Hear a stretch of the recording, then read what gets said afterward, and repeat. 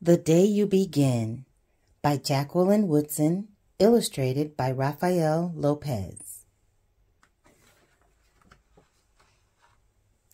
There will be times when you walk into a room and no one there is quite like you. Maybe it will be your skin, your clothes, or the curl of your hair.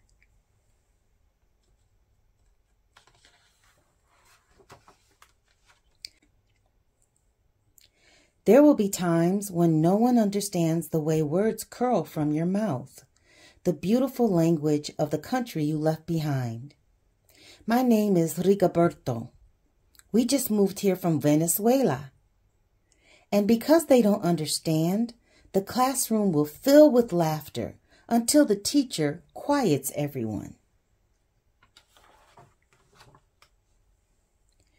Rigoberto from Venezuela.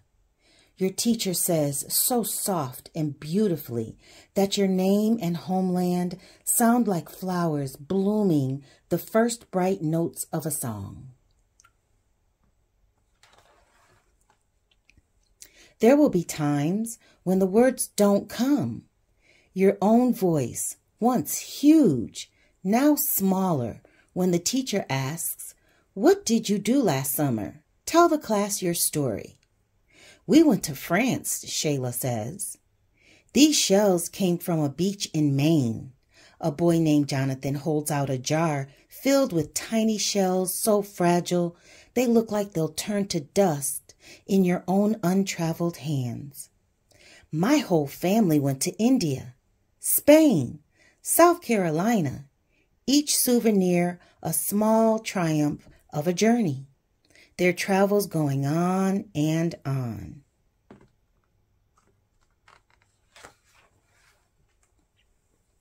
As you stand in front of that room, you can only remember how the heat waved as it lifted off the curb, and your days spent at home caring for your little sister who made you laugh out loud and hugged you hard at nap time.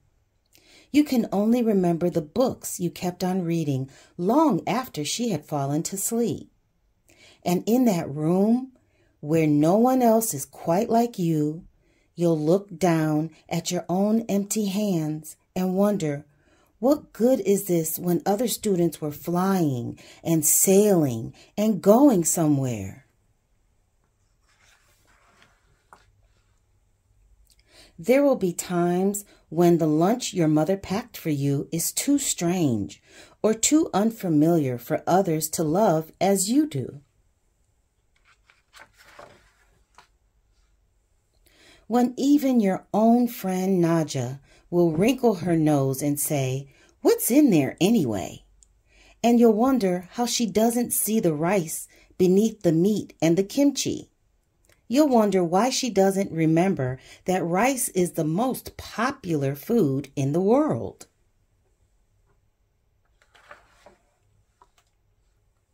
There will be times when the climbing bars are too high, the run is too fast and far, the game isn't one you can ever really play. I don't want him on our team. You can watch. Maybe you can have a turn later.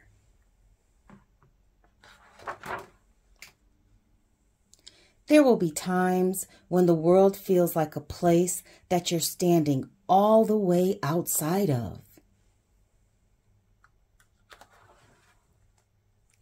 And all that stands beside you is your own brave self, steady as steel and ready even though you don't yet know what you're ready for. There will be times when you walk into a room and no one there is quite like you until the day you begin to share your stories. My name is Angelina. I spent my whole summer with my little sister. You tell the class, your voice stronger than it was a minute ago.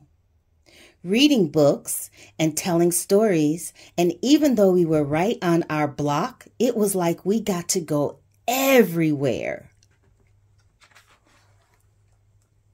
Your name is like my sister's, Rigoberto says. Her name is Angelina, too. And all at once, in the room where no one else is quite like you, the world opens itself up a little wider to make some space for you.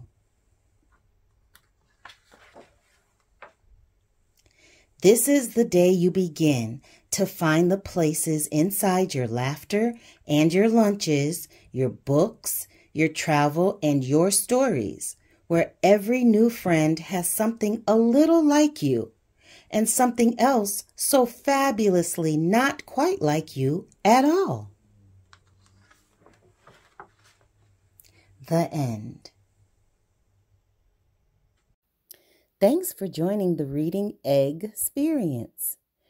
If it was a good experience for you, click like, share it, and hit the bell so you'll know when the next book is up. And remember, your egg life is your best life of ease, grace, and gratitude. Egg life. See you next time.